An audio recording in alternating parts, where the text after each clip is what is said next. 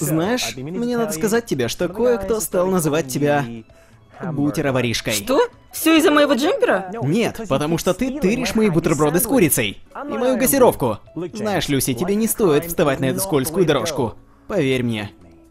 Ну, если ты будешь делать так же круто, как некоторые игроделы, и заминируешь обед острым перцем, никто не спиратит твою Да в еду. природе нет никого, кто пиратит еду. Говори себе пельмешек, да принеси с Что собой. ж, хорошо, что ты об этом заговорил. Ведь разработчики игр и сами тоже придумали много разных крутых методов для борьбы с пиратством. Что? Вот такой вот поворот.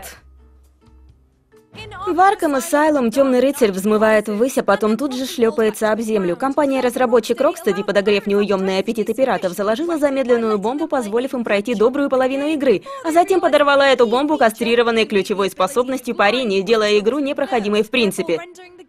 Кратим, разработчики крутого Сэма 3, получили в свое время первые места в новостных заголовках благодаря своей креативности. Если вы играли в ломаную версию, то все уровни вас преследовал гигантский розовый неуязвимый скорпион. Всю игру.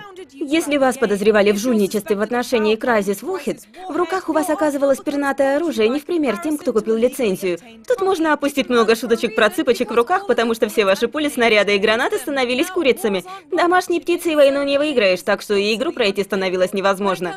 Когда дело касается антипиратских мер, Rockstar ведут жесткую игру. В GTA 4 автоматически включалась пьяная камера, которая расшатывала весь обзор за происходящим. Если вы с этим готовы мириться, то вступает в силу вторая часть коварного плана борьбы с пиратами. Любая машина, в которую вы сядете, будет набирать скорость сама по себе и ехать в одно направление. И чтобы она взорвалась, хватит одного единственного столкновения. Remedy Entertainment не стали принимать настолько крутых методов в Alan Wake. Вместо этого всеобщий любимчик-подражатель Стивену Кингу носил черную повязку на глаз с веселым Роджером, дабы заставить пиратов чувствовать вину. Они будто бы говорили, приглядись ко мне получше, если хочешь украсть мою игру.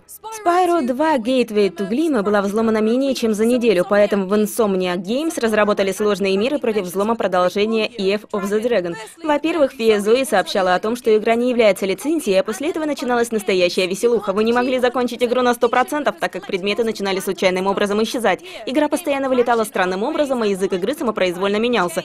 И если же вы все-таки добирались до финального босса, у вас было примерно 8 секунд до вылета игры, после чего удалялись все ваши сохранения. И есть Game Dave Tycoon, в которой вы открываете свою студию разработки игр. В пиратской версии, как только вы подбираетесь к выпуску высокодоходных игр премиум-класса, ваша выручка стремительно падает, а студия должна закрываться из-за убытков. А все это из-за того, что ваши игры перестают покупать из-за пиратства. Какая ирония. Быть пиратом сейчас — это не ходить на деревянном протезе вместо ноги пить гроку и грабить корабли, да? Пираты в любом случае не станут красть мой ланч. Знаешь, может и станут. У тебя получаются просто великолепные куриные лонг-сэндвичи. Переведено и озвучено командой X-Delayed. Ставьте пальцы вверх и подписывайтесь на наши каналы на YouTube, Twitter и паблик ВКонтакте.